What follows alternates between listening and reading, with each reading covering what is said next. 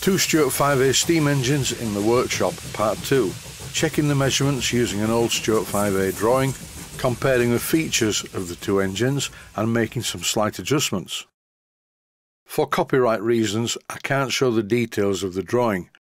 The only thing I can say is this drawing was from Stuart Models when they were based at Henley on Thames, so it's quite old.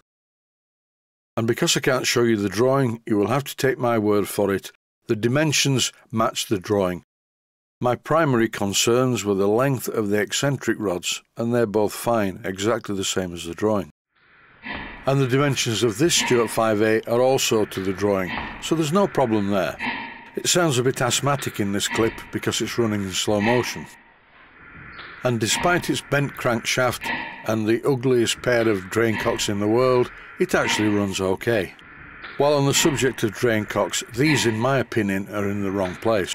When the engine is in steam and you open these drain cocks, all of the condensate pours onto the flywheel. This, in my opinion, is the better place to fit drain cocks. This is the 5A with the bent crankshaft and I will be making a series about modifying this, but not yet because it's not mine. I really can't live with this at all. Look at the difference in the handles on the drain cocks. I may be being picky in this case, but these are extremely visible parts of this engine and they do not look good. When I get around to modifying this engine, I will plug the holes where the original drain cocks are and drill two more on this side just like the other engine. Mainly in this episode I'm having a good look at the engine that I built. I didn't build all of it, I just made the important parts. Here you can see some side movement on the flywheel. This was caused when I fitted the key, which is moving the flywheel slightly out of alignment. Plus there is some side-to-side -side movement on the crankshaft itself. Now I know that the part sizes are all correct, I'm going to tweak the eccentric. I'd just like to mention that I'm using the Allen key through the hole in the eccentric strap and I'm adjusting the innermost eccentric, the one that is currently driving the valve gear. This adjustment is critical, and to be honest, what this is telling me is the fact that the slide valve in the valve chest is not precisely in the right position. During the adjustment of this eccentric, I have a very small amount of compressed air being admitted to the engine. You have to be very careful though with larger engines, even a very small amount of compressed air will make the engine want to run. While I'm adjusting the eccentric, what you can't see is my other hand is on the flywheel holding it steady. As I make these minute adjustments to advance or retard the timing, you can hear the difference. With the adjustment in this setting, it's not quite so even. Even though I'm not adjusting the eccentric nearest to the camera, when I put it into reverse, I'm just doing an A-B comparison.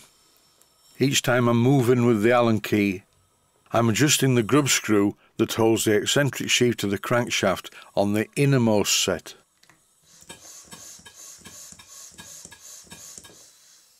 By the sound of the engine now, I think that's the closest I'm going to get it. Besides, the men in white coats have arrived and it's time to go back to the asylum. This job can drive you mad. When do you stop? I'll just move it a little bit more. I suppose it's a bit like stop motion photography. Once upon a time I had a webcam that took individual frames. I actually animated a small model aeroplane pencil sharpener. It took me about an hour to achieve a 5 second video. This adjustment was a mistake because now the timing is worse than it was before I adjusted it. I know I'll run the engine at a high speed.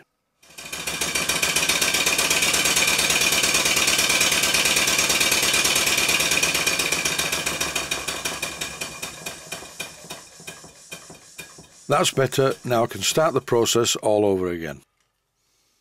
I need to tap the outer eccentric sheave back into position as it's moved. And after making a very small adjustment to the outer eccentric sheave, I'm tightening up the grub screw with the Allen key.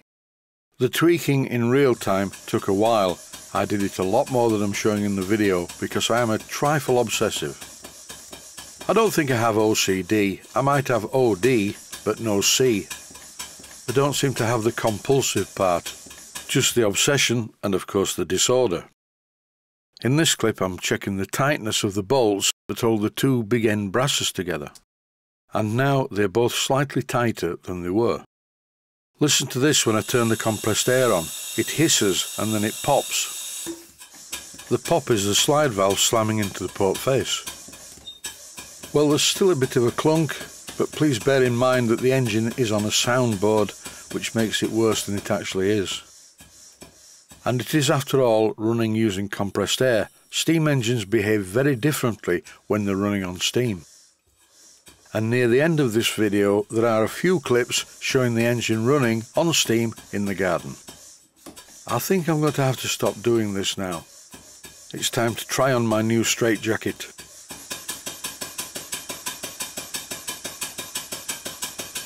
I really do think that the slide valve needs a very very tiny adjustment because it runs differently in forward and reverse.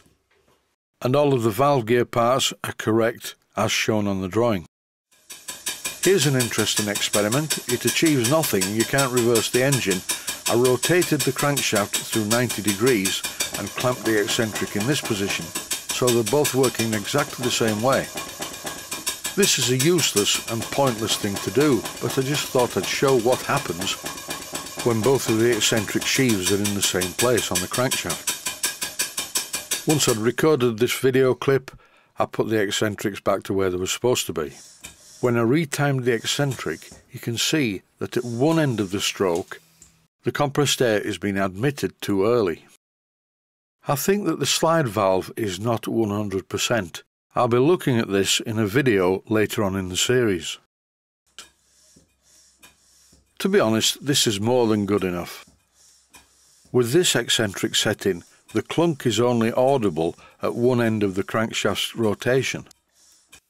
When you see me doing things like this, please don't write in and tell me that it's wrong.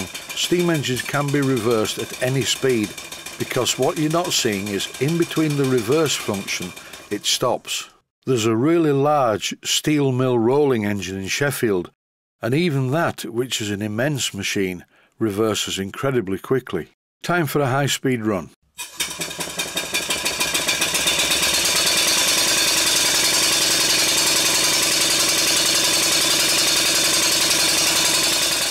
Health and safety warning, always keep your hand away from the engine when it's running. Don't do this.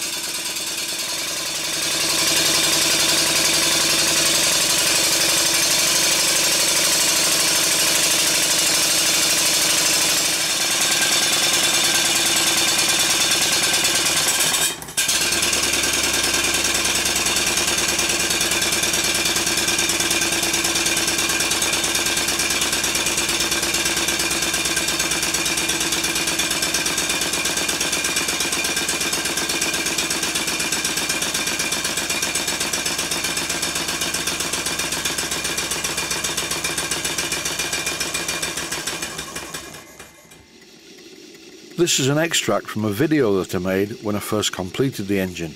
It's in the garden at the house that I used to live in and you will notice that the exhaust pipe is shorter. I extended this so it didn't drop water all over the engine and the flywheel. You can hear that the engine runs very sweetly at all speeds when it's running on steam. Here's the engine running with the cylinder drains open. And that is it from me in this video. Stay safe, stay healthy, thanks for watching and I hope you found it useful.